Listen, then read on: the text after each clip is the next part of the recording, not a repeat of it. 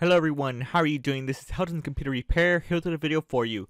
If you're not a big fan of OBS Studio or somehow OBS Studio is just having problems or just getting a glitch or doesn't want to work correctly, then we understand. Pretty much on this video we're pretty much going to be showing you how to uninstall OBS Studio in Windows 10. Let's go ahead and get started.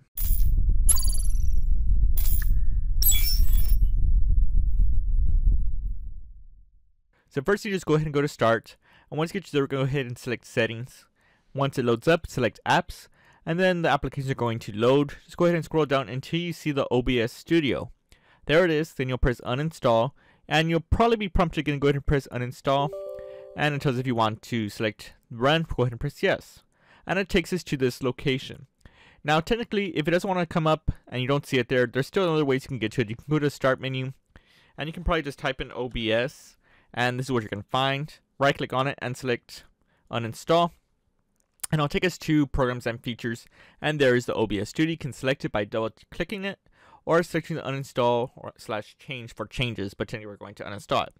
If it comes to another point that you don't see the shortcuts that is very odd but it does happen too you can go ahead and just type in control panel. And it might look like this. Depending you might have the old classic layout or maybe even the older ones that looks like this. Regardless just go to the regular category and you can select programs and programs and features, or you can just select the uninstall program. You're pretty much going to get to programs and features regardless. Select for the OBS Studio, you can click it, or select uninstall, same thing. And it'll take us to the same pop-up, you press accept, and it'll take us to this location. From here, you can go ahead and select the the pretty much the user settings. If you're going to just come back and you want to leave your user settings, you can go ahead and uncheck that and leave it like that. That in case you want to reinstall. For me, I'm going to pretend like I don't even want this anymore. I'm going to go ahead and just delete also the user settings and press uninstall. And now it's completed and it says show details and pretty much it's closed. Now one of the most common things is that OBS on the uninstall always gets a glitch and it likes to leave those icons like this. This happened to me multiple times and now it disappears. But then here we are again and then you're going to go to here and we're going to see OBS folders that contains the files again. So to do this, here we are going to start menu, we open up the folder, and before you click it, right click on it, and select more, and says open file location.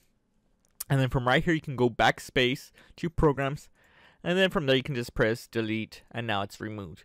And then from that point, we can go ahead and just empty the recycle bin.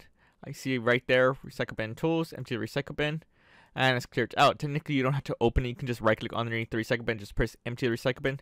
It does the same thing, and pretty much that is it. Thank you for watching from Helton's Computer Repair, and I will see you on the next video. Thanks for watching guys. If you disliked this video, then hit that button. But if you like it and you want to see more, hit that like button, get subscribed, comment, and tell us what other tech videos you want to see.